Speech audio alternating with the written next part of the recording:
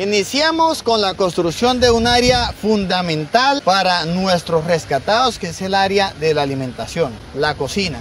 Por aquí tenemos materiales como la arena, el granzón, para empezar lo que va a ser el piso de esta gran cocina. Como pueden observar de fondo, son materiales que vamos a utilizar, materiales reciclados. Por aquí vamos a ir construyendo con esta malla lo que va a ser el piso y de esa forma ya garantizarles todo este espacio a nuestros peluditos para hacerles una buena alimentación. Hoy, con el apoyo de todas las personas que nos colaboren, lograremos este gran sueño que es construir bloque a bloque esta gran cocina que inicia con un, un buen piso y sigue con unas paredes frisadas, bien hechas, bien paradas para poder garantizar el bienestar para los cocineros, obviamente las personas voluntarias que vienen a colaborarnos aquí y que es importante porque aquí hace mucho sol y pues hay que asegurar la calidad del trabajo para todos.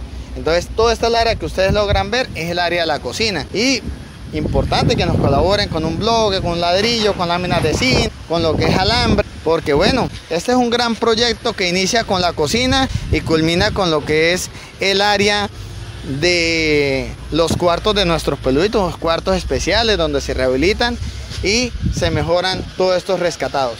Síganos y apóyennos.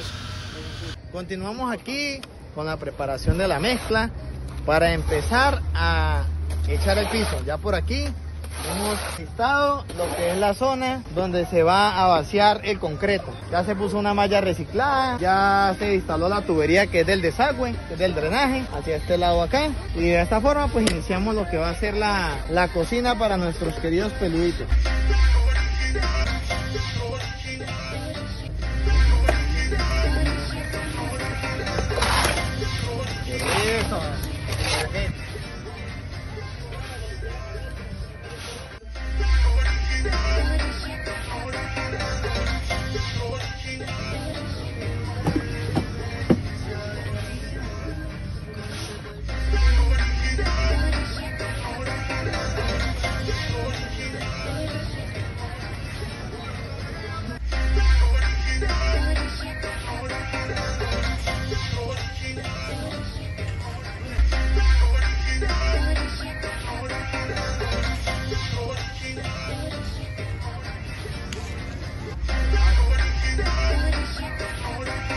La construcción gracias a sus hermosos seguidores quienes nos envían parte de los materiales necesarios para la construcción de esta área fundamental. Vamos por aquí con los maestros que están en la construcción de esta área, que es muy importante el apoyo de todos para continuar esta construcción bonita, la cual necesita de arena, necesita de bloques, ladrillos, porque vamos a hacer una chimenea bien hermosa para todos nuestros peluditos, para prepararles la comida.